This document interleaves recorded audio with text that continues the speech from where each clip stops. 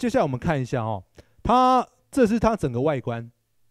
那当然，时机有在现场。我们今天呃下半段的时间会有很长的一段时间，可以让大家来接触一下时机。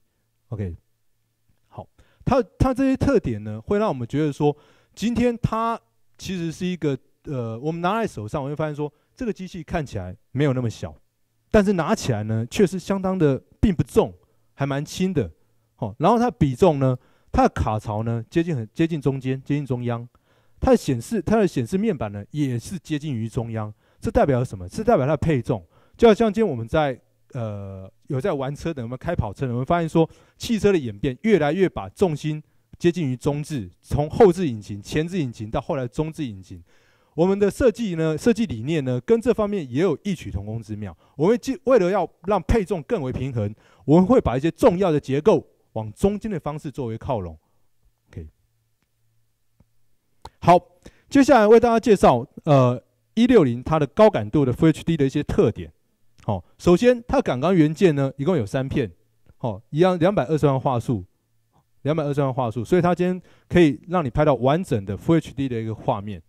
好，那当然，相对于呃，相对于它的前前置部分，好，感光元件的资源，它后面呢，它一样是以 AVC HD 的 Codec，它一样是可以把它录成一九二零一零八零，所以。由于这由于这两块，我们可以得到一个 Full HD 的一个内容，哦，只不过流量来讲跟广播等级也是有点差异，其他的部分呢，我们都可以得到 Full HD 的一个内容。那在这边呢，为大家呃，请大家看到注意到电浆电视这个部分，我为大家介绍一下两百二十万画素，好，跟一百万画素之间的差别。导播，请看呃一百万画素的摄影机，要注意到呃现在电电视这一边。我们现在看到的呢，是以一百万画素的摄影机所拍摄到的一个场景场景画面。好，可以让它动一下，没关系。我们看到细节的部分，好，以及整体的那个锐利度的部分。OK，好，那我们接着呢，有没有看两百二十万画素？这是两百二十万画素。我们对应刚才的画面，我会发现说，呃，细节部分锐利许多。好，远处的部分也不会蒙掉了。好，这是一百万跟一百万画素跟两百二十万画素，好，这是没有办法没有办法逃避好的一个差异。OK，我们再切回一百万画素，我们会发现，整体整体的细节看起来是比较蒙一点的，好，不会那么的明显。好，那我们再切到两百万画素。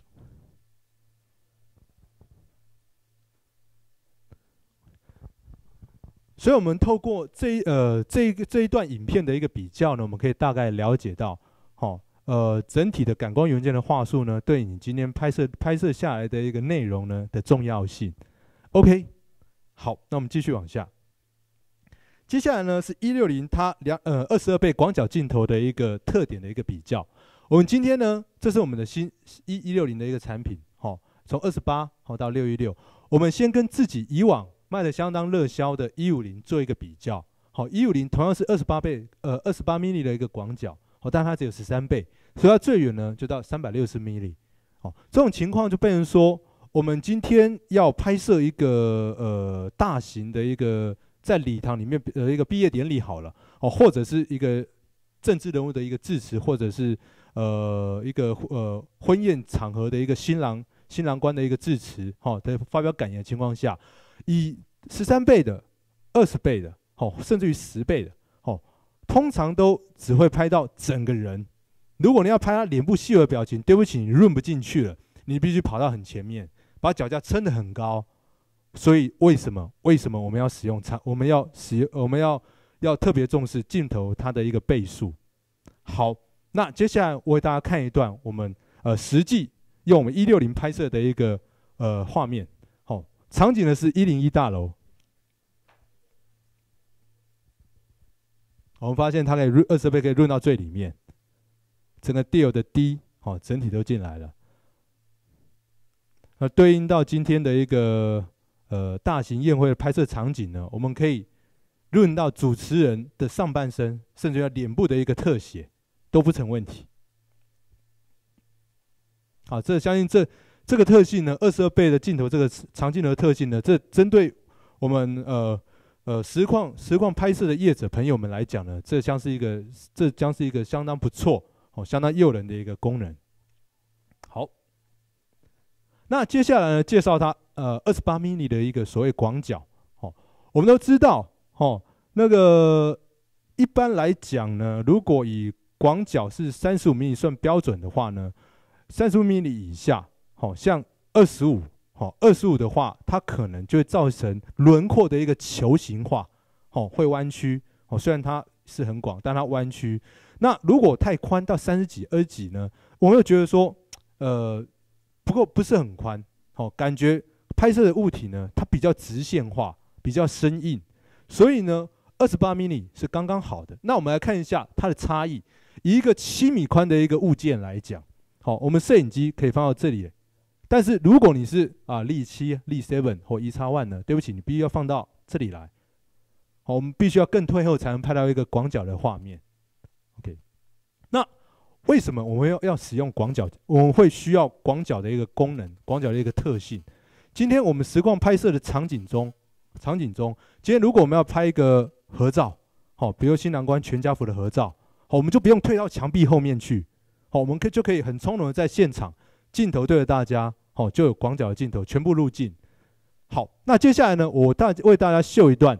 好，呃，一般二十九、二十九点五 mm 摄影机的广角广角范围，以及我们 AF 一呃，以及我们呃 AC 一六零它的二十八 mm 的广角。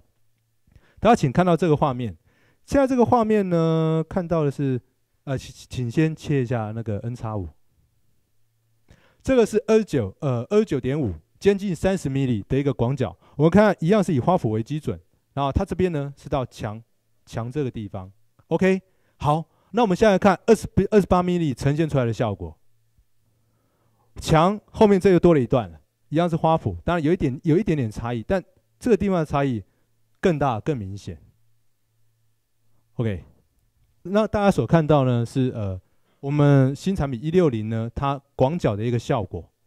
OK，好那在跟方才有跟大家稍微提到过，我们我们新的镜头设计呢，哦，它跟我们 E N G 的那个镜头几乎哦越来越接近了，一样是三环。前面这部分呢，哦，这是 focus 好润的部分，好 iris 的部分呢，光圈呢也可以由前面的部分我们单手做一个操控。OK，再来是刚刚大家介绍过的哈，它有所谓接力录影跟备份备份录影的一个功能。好，接力录影，呃，第一片卡录完之后呢，它将会无缝的跳到第二片卡，持续的做一个录制的动作。好，长时间录影呢，我们可以录到十二，两片六十四 G 来讲，我们可以录到十二个小时，最高画质哦，最高画质录到十二个小时哦。好，这是相当便捷的。好，那当然了，我们今天在意的是我们录制的结果，好，是不是可以令人安心的？我们有备份录影，备份录影，同时两片卡放进去，我们选择到备份录影了。我们可以同时得到两个相同的内容做侧录，OK，我们就不用再额外再买一个 recorder，然后接 SDI，然后做一个侧录的动作。好，因为这个功能我们内建在里面，我们可以得到一个安心。好，那当然呢，备份录影的情况下，呃，其他机种有没有？我必须说，其实这个不是新功能，其他机种也有，但它可能呢，你必须要另外额外再花呃大概六七百块美金，好，那去购置专用的专用的一个硬碟。好，那。当然，这个成本来讲，我们只需要再多一多买一张 SD 卡，好，这价格是相差十倍左右，好，这是相当大的一个差距。